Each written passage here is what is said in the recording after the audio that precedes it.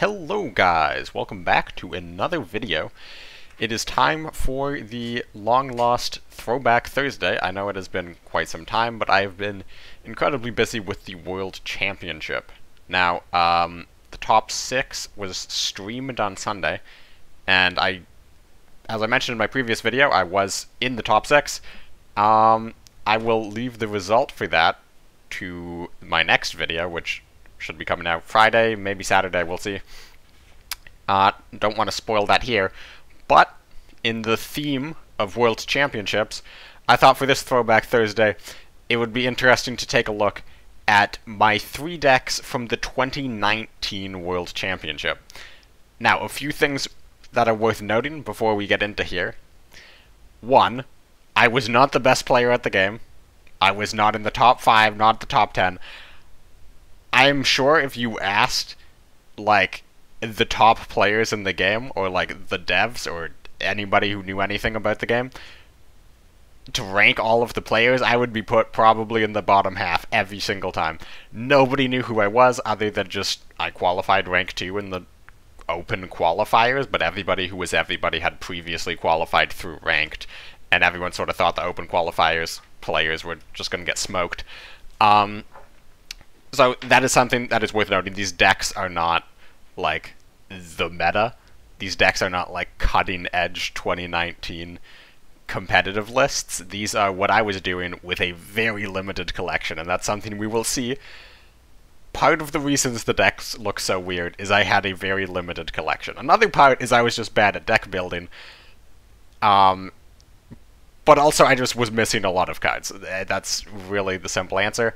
Um, I really grinded out my full collection in the months following the World Championship. Um, so in this, not that good decks. Another very important thing is something we see is a lot of cards have been nerfed or buffed or changed or just are very, very different.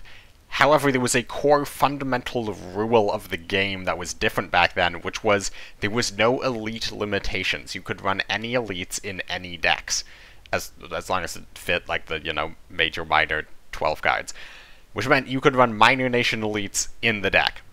And obviously people did that because elites are pretty good. So of the three decks for World Championship, only one is actually playable because the other two required elites that were from the minor nation that I can't run anymore. Um, so uh, just to quickly add on to this, um, I don't remember the format exactly. It wasn't bans. It wasn't you had to win with all your decks. I think it was just you couldn't bring the same deck twice in a row, uh, and it was basically just play. I think it was a best of threes and then best of fives with no bans. Bring any deck. Um, if I remember correctly, I, I could be wrong about that.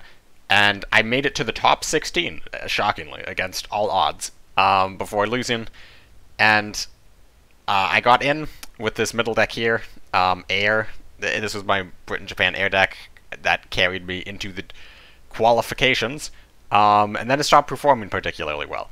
And I looked at it just now while getting these lists, and oh my goodness, does it look terrible. Um, we'll take a look at it now, but it looks awful. Uh, so I was really relying on this German deck, which won me a couple games, but as we're about to see, is also a really terrible deck, and it, I think I lost, like, basically three times in a row with this, um, it was rough. So, again, what does somebody with a limited collection who has to bring three decks do?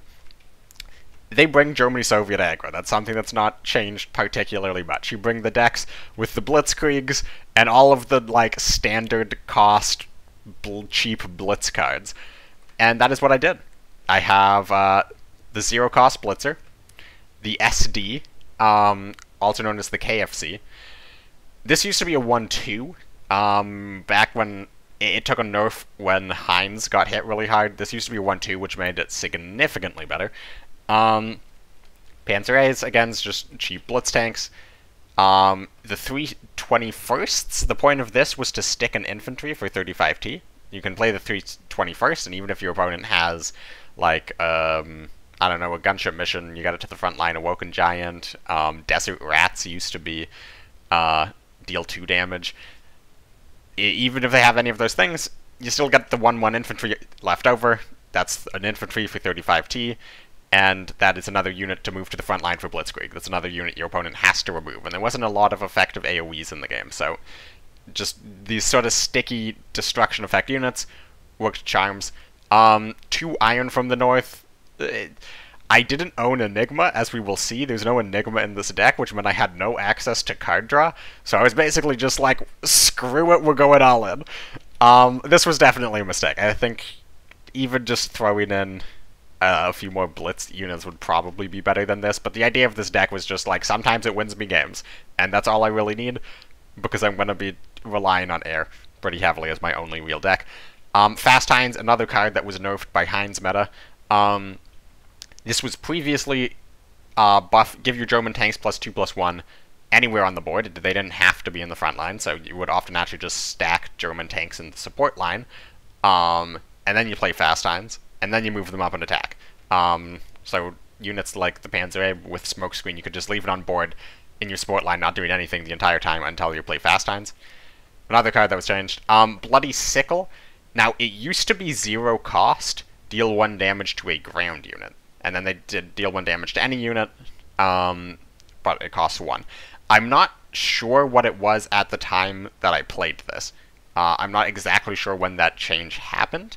I believe this would have been zero cost, though, and again, the point of that is, without a lot of card draw, I want to be slightly more consistent. So a zero cost to draw a card is pretty good, um, especially when it might, like, take out a commando, which could be theoretically really annoying because it's kind of acting as that non-existent AoE, or even it's just clearing uh, cavalry regiments off of Japan decks. Um, Zero Cost Sickle was insane, part of the reason they changed it. Uh, 35T, this was another card that behaved differently. Uh, it used to be a passive effect, has uh, minus one operation cost if you control an infantry rather than deployment, um, which meant you could play it on two by itself, and then you play an infantry on three, and that's the deploy uh, operation cost goes down to zero. Or you play infantry on one, you play 35T on two, and you attack with it, and then they kill the infantry. The uh, operation cost goes back up to one. Um, pretty interesting card. Uh, four copies of Flak. Um, now I'm running three Blitzkriegs and Fast Heinz, so again, this is just basically like a try to get as many units to the front line as possible for a Blitzkrieg. I was a really bad deck builder but I did recognize the power of Blitzkrieg. I was like, this card's absolutely insane. You can end games so quickly, and there was very, very, very limited healing. So I was like, if I can just do a three-unit Blitzkrieg at any point in the game, I'm probably going to win that game.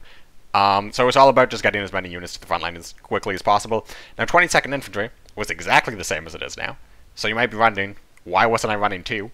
And the answer is I only owned one and I did not have the resources to craft a second. I think I actually crafted the only one I had while submitting decks. I had like a whole bunch of resources built up and was like, well, I might, might as well spend all of these uh, going into the World Championship. And I didn't have enough to craft an Elite. That is how little I had. So I was like, well, if I can only craft a handful of specials, what do I want? I'm like, probably a 22nd. This deck needs at least some draw. Um, tactical strikes, I honestly have no idea why these are here. I was probably just out of cards I thought were fine. Um, air was really popular, so like killing uh, swordfishes is pretty good. Um, yeah, uh, other than that, I mean, just some removal is fine. Pursuit didn't exist. Um, like, it's just there was not a lot of good cards. Um, with Soviet Ally, you don't have um, Sendai's like you could get like get um, really locked out by a couple problematic cards, so two tac strikes or whatever. Again, mentioned why we were running Blitzkriegs, sort of the core card of the deck. And then we reach sort of, like, by this point you can see I probably made like a 30 card deck and was like, this seems good. Now I'm out of cards, so let's start putting in the Iron from the North, putting in the tac strikes, just need to go up to hit that 40 mark. When you have a low collection, 40 cards seems like a lot. And then when you have a full collection, 40 cards seems like it's absolutely nothing, and you wish you could run 60, but, um, yeah. So, threw in some air blitzes. Again, the honey did not exist, Mare Nostrum did not exist, there was almost no healing in the game. Um, and the healing that was in the game, people thought was bad and didn't really run it. So, there was basically no healing. So if you could get a Blitzkrieg off, it doesn't matter if your opponent still has 6 health, because maybe you draw into Air Blitzes over the next couple turns. Air Blitz used to deal 4 damage. It cost 4, deals 4. Um, so in a game with no healing, 4k deal 4, pretty good. Honestly, it probably should have been running 3 at the expense of like an Iron from the North. Uh, then we had Comet and Blitzkrieg, er, Bismarck. Now, part of the reason I was running these is likely because they were like some of the only elites I had, and I was like, I have a limited collection, I might as well run all my elites because they're good.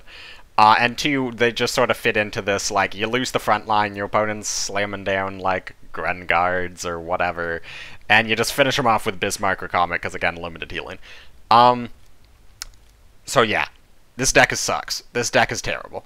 Um, obviously, it could high roll basically anything, um, but not a great deck. Now, let's look at the air deck. Uh, this is at 37 cards. I'll say what the three missing ones are after we see what is here. So, at first you might think, oh, pretty familiar. Swordfishes, three Swordfish, three Gladiator, Air. Um, two Recons. So Lend-Lease did not exist, so you were significantly more limited on card draw options. Um, and, as you will see with these four close air supports, close air support used to be very different. Close air support used to be give a friendly unit plus one plus one for each uh, British air unit you control. So you could give it to an air unit, or you could play it on recon, which would then get the buff. So if you could buff this recon up to like a 3-4 or a 5-6, um, or like a 4-5, suddenly you're drawing quite a few more cards off of this. And in a, game with very limited card draw for most nations, um, that was a big deal. Also, Recon used to be a 1-3. Now, I'm pretty sure that was before they changed that before this tournament. I'm pretty sure I was still running this as a 1-2. But if it was a 1-3, that card was busted and, like, should be run in every single deck. Um, now, a couple other cards. Monty. Monty is Monty. It actually used to be stronger. If you're newer, you might not know this. Monty used to be just pin all enemy units, draw a card. Now you only draw if it pins three or more. Um, for the Emperor, another absolutely insane card. Uh, used to just not have the restriction on Japanese units, so this would buy you a ton of credits, buff a ton of uh, attack. Uh, this is especially good with like HMS Illustrious. For the Emperor, you're now hitting with two, two attack, zero operation cost bombers.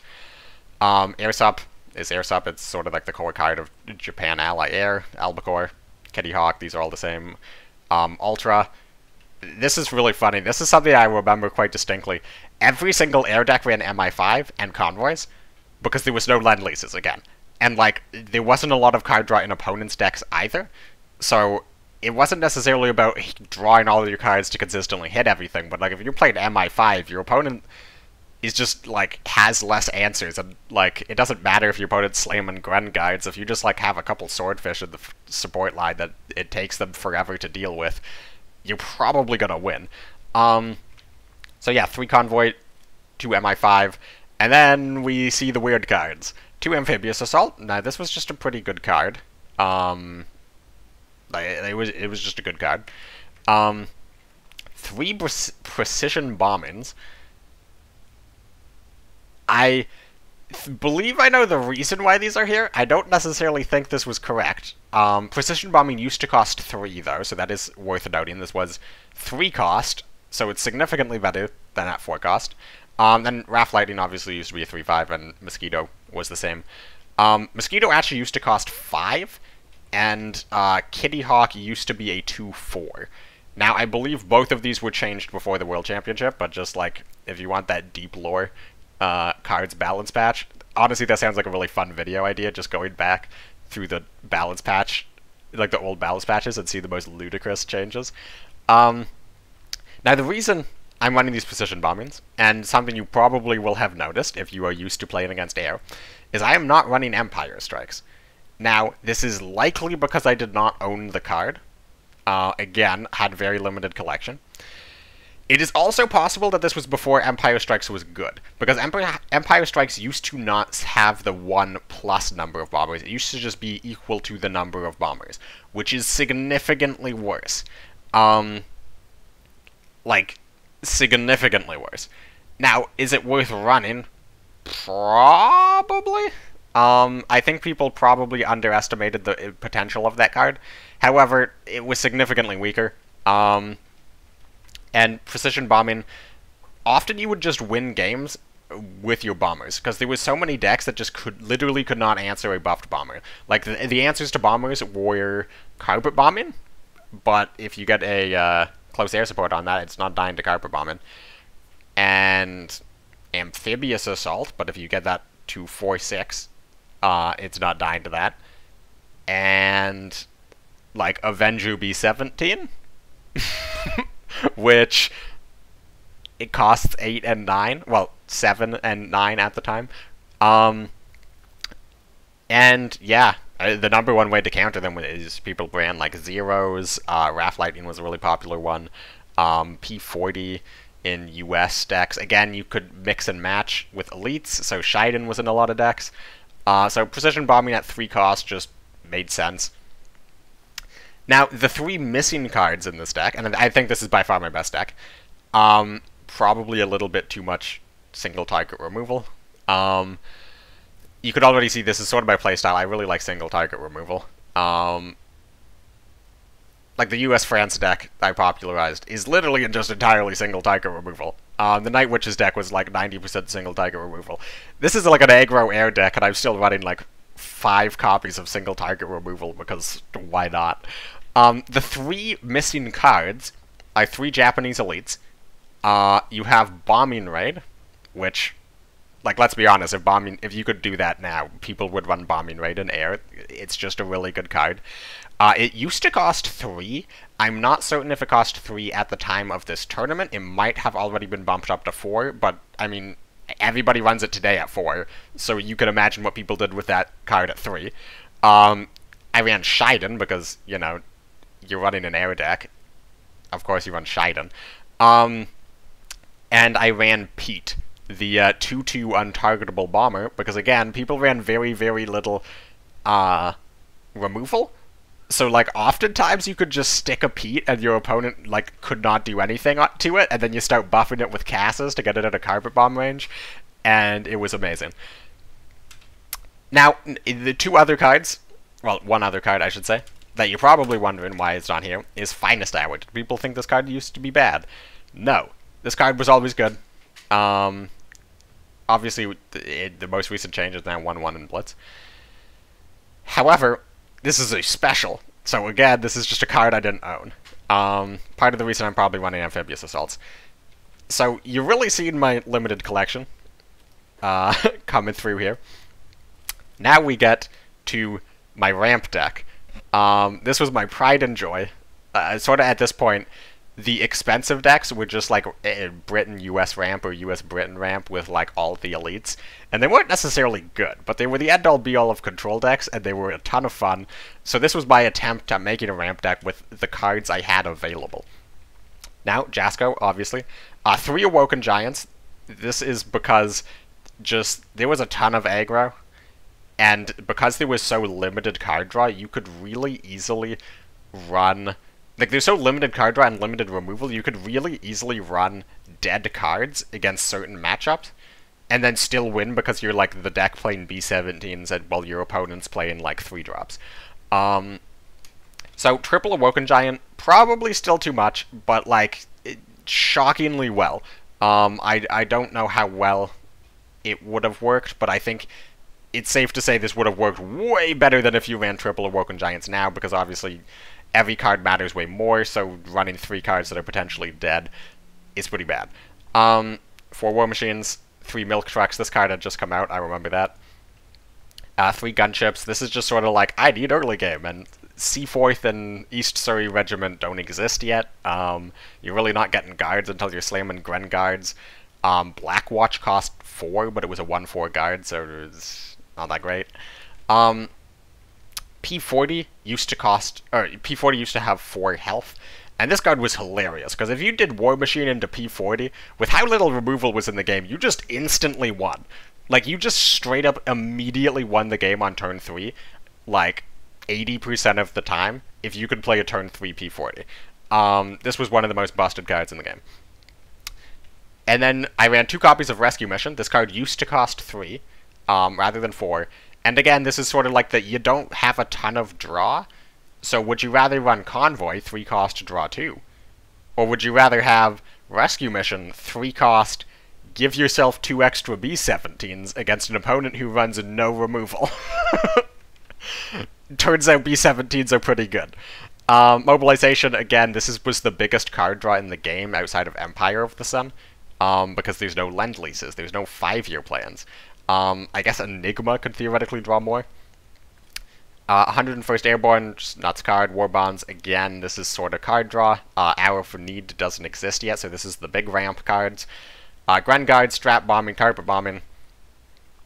Um, and then you have B-17 Avenger, this card used to cost 7. Um, two Flying Fortresses, Patton.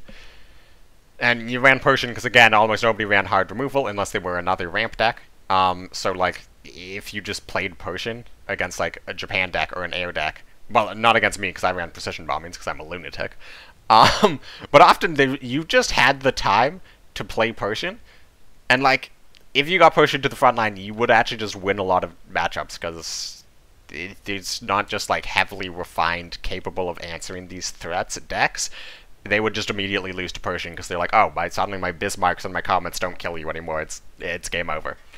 Um, now, obviously, there's a couple elites missing uh, that you might wonder why I'm not running, such as Air Defense. I would be running that card if I owned it. It's an elite. I don't have it. I was poor. Um, now, you might be wondering where the other six cards are, and if you learned anything from the last deck, it's because they are all elites. And Britain had some of the best elites in the game. So, uh, I can tell you right now what the missing elites are.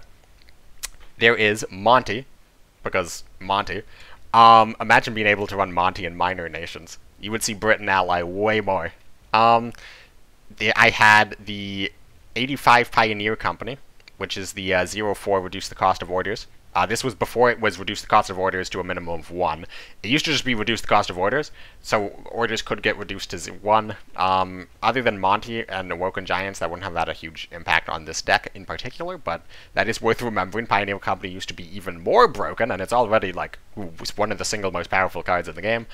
Um, and the other four. Sorry, I'm like reading this off the deck list because obviously I couldn't import it in. The Lancaster B3, which is the uh, 7 cost 5 4. I suppose I can just pull these up, um, show it off more easily. So you have Monty, you have the 85 Pioneer Company, you have Lancaster B3, uh, this card used to actually be even better. It used to increase the cost of cards in enemy's hand by plus two credits rather than plus one credit.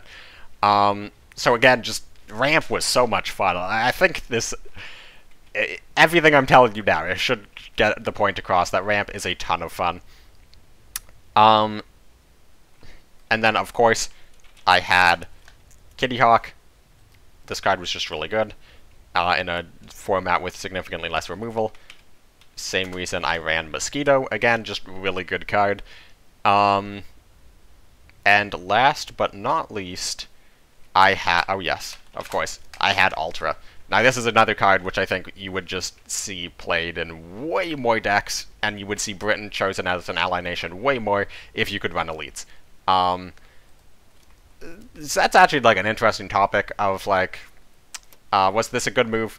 Um, obviously, the move was intended to just make top-level decks less reliant on owning every single elite in the game. Because um, obviously, think about Jagro. Oh my goodness, you had access to Bismarck and Comet uh, in Jagro. Like, you could like literally even just run like if you really wanted to, you could run just like um, Shiden in basically any decks. Uh, the deck that ended up winning World Championship was a Britain Japan uh, Commonwealth Commandos deck that ran Commonwealth as the main win condition. However, if you couldn't heal up to 30 or if your opponent healed past 20, you also just ran Last Rites in the deck to win on Fatigue, or you ran Last Rites and then you just threw out a bunch of commandos and played uh, all 8 Last Rites because the Kamikazes used to cost 0, so you could play them all out on the same turn. Uh, and just burn your opponent down with commandos. The deck was incredibly multifaceted, and it heavily, heavily relied on elites of both uh, ally nations, uh, both nations, like the ally and the major. Um, and obviously it was broken. It was probably the best deck in the game, um, which is probably why the guy who figured out how to make it and play it the best won the World Championship in 2019. Um, so, these are my three decks. Uh, if I had to rate them, I would probably say the air deck looked really good. Um, I could see the ramp deck being very strong as well. Um, it is difficult to think. Uh, and like the German deck is definitely the definitely the weak one here. Um, and honestly, I think these decks probably were pretty good compared to what some of the other people were bringing. Um, but again, feel free to check me on that. I have the uh, document with all 128 players' decks, um, three decks each, uh, which I will link in the description. So if you want to take a look through other people's decks, um, some special names out there. Gearbot was the player who ended up winning the 2019 World Championship. I might cover his lineup in a future video. Um, G GK Zukov uh, was the runner-up. Uh, Fenrir got third. Drogear got fourth. Um, Cybernetic was also, uh, I think he got like eighth. Um, he was one of the people a lot of people expected to see in the finals. Um, so yeah, I would recommend going to going to see those players to see more uh, more decks of the time, decks built with slightly larger collections. Although GK Zukov actually had a very limited collection as well. Um, and yeah, I'll only play one game on ladder, I think, um, just because two of them are unplayable, and I think it, with just how old these decks are, it really defeats the purpose running the deck today. Um, so I'll only run the German-Soviet deck for a game. Uh, this was a pretty talking-heavy episode, and I think that's fine, because these decks are significantly more theoretical with just how old they are and just how many card di change differences there have been since these cards existed. Um, so, uh, yeah, uh, let's just play the German-Soviet deck, see how it compares, see how the uh, reliability holds up, um, and more likely than not see why I lost with this deck in the top 16. Um, yeah, and let me know in the future if you'd be interested in seeing um, sort of breakdowns of gameplay. Um, like I can find old videos of gameplay, uh, old tournaments. Oh, Oh, okay. Um, yeah. This is rough. This is pretty rough. Am I about to get beefed? No beef.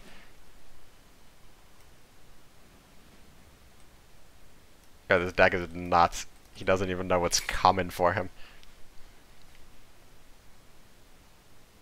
This was also, I believe this was before Greif because Greif was a uh, Allegiance card, the first major, uh, well, the first card's expansion.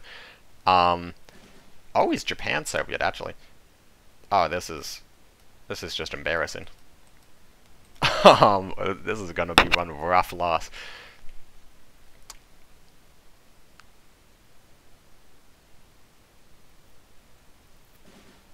Guy's probably so confused as to what I'm playing. Um. Okay.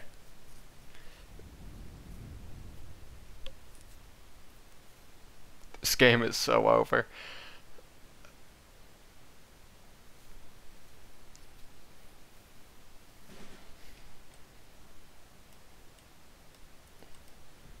Probably shouldn't have played the 22nd, actually. Um, probably should have just held on to it, because maybe he doesn't take the front line, and then I can draw, like, another Blitz unit to move up. But he's an aggro deck. There's like a 100% chance he takes the front line. Let's try to take out the caddy.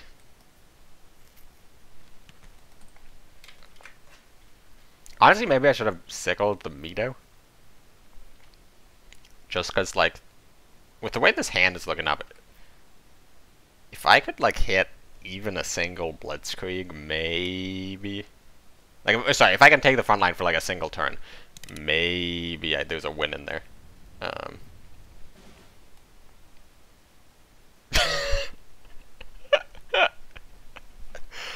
okay.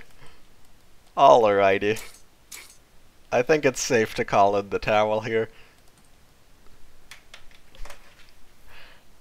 My god, when it works, it works. When it does not work, it really does not work.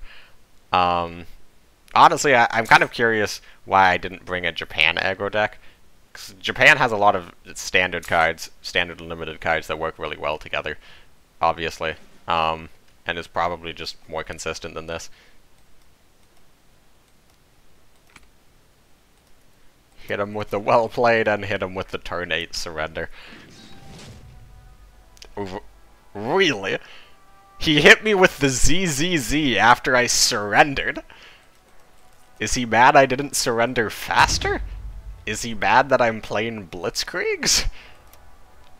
I'm I'm lost. Um I will actually I was thinking um I'm just kind of curious how this ramp deck holds up just cuz it's like so old-fashioned. Like you're running rescue missions in here and I'm really curious how these Awoken Giants are going to work. So um what's like a good balance of cards to run to replace the British elites. Um, there's not really a replacement for Monty. Um, I suppose I can run 5th Rangers as like a quasi-Kitty Hawk. Um,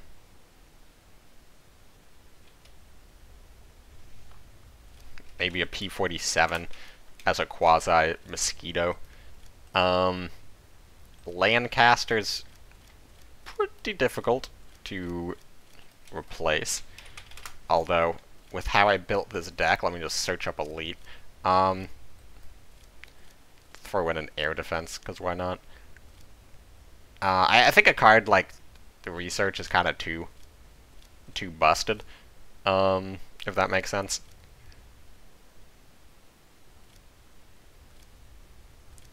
Yeah, I mean, let's just throw in a B-17F. Um, probably worse, significantly worse than Lancaster. Um, Pioneer Company is another one that's pretty hard to replace.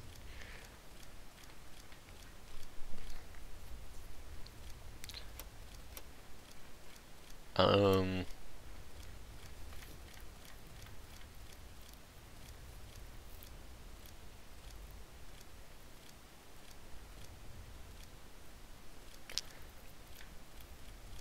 I mean, yeah, I'll just run Seaforth, I guess.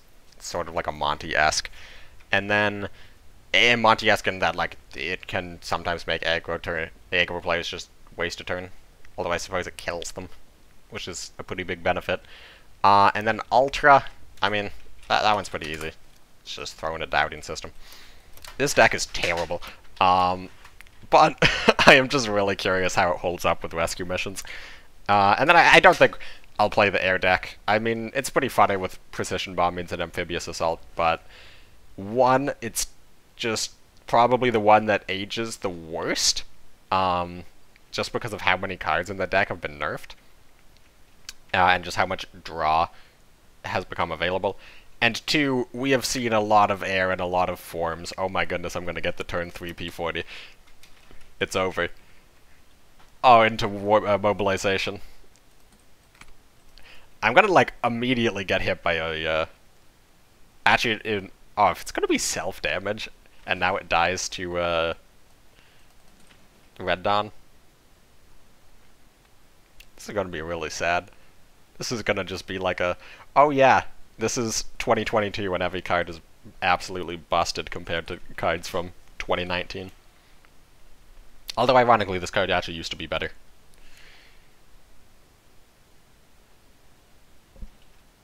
He can't kill it. Okay. Things are about to get real. Um, do I draw, do I hit face, or do I hold up a rescue mission? Probably not holding up rescue mission, let's draw. I need to get some more ramp going. Or I need Pershing B-17, that, that works too. No complaints. Um, Please let him spend three credits moving up to trigger my Awoken Giant. No. Okay. Alrighty. Um. Yeah. I think I'm gonna hold on to the gunship mission just because I want to trigger Awoken Giant.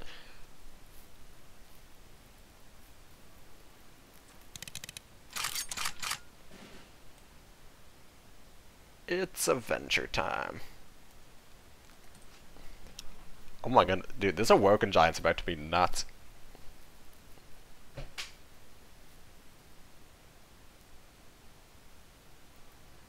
Oh, he did parade into train. That's sad. Yo, look at this, look at this. Normally, I would just play Avenger, and then he would kill the P40. But wait! If only there was a one credit card that kills a unit in the front line, and it draws! The crowd goes wild. Actually, just... Is strat bombing? Strat bombing seems significantly better. It keeps train alive for a turn, I guess. Um... Man, am I gonna get partisans? This would be a pretty... Oh, wait, he can't because of the credit loss. Ho ho ho.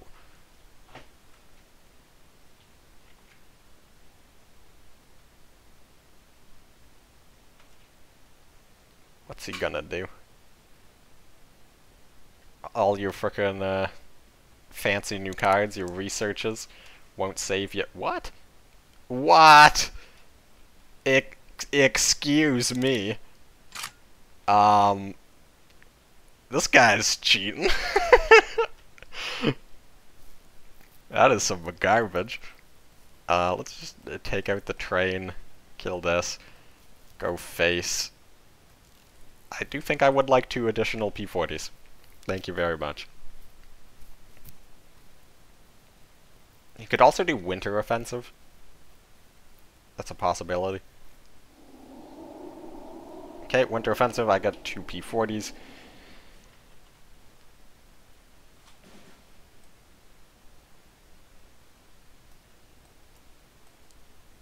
I mean, this doesn't actually do a whole lot. I'm gonna hold back.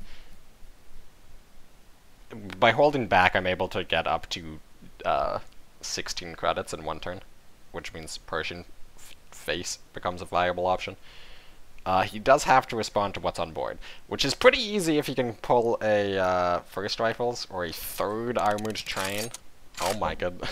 That's nine operation. oh my goodness. Um, well, tough luck, buddy. But it's Avenging time. Oh my, this deck is beastly. I don't actually remember playing this deck, like, at all. Maybe I just thought this deck was bad. Maybe all my opponents were playing aggro. I don't know. This deck is beastly. Okay. Um, that's it for this week's Throwback Thursday. Again, if you have any ideas for decks or lineups or anything, eras in history, players that you want to see next week, um, let me know in the comments down below. And uh, the next video will be breaking down the top six, how it went, did I qualify or did I not qualify. Um, and uh, how did the other five players do? If you want to uh, follow me on Twitch, link is in the description. I just did a stream earlier today where I hit Field Marshal, uh, played some pretty fun off-meta decks that worked out pretty well, uh, and posted quite a few deck lists of mine in that stream chat. You can also join my Discord where I will also post deck lists if you ask or answer any other questions, or you can just, you know, discuss with other people uh, about cards or anything you want. It's a pretty thriving community. And uh, thank you again for watching. Subscribe if you haven't. Do the YouTube things. You know the drill by now. And I'll catch you in the next one.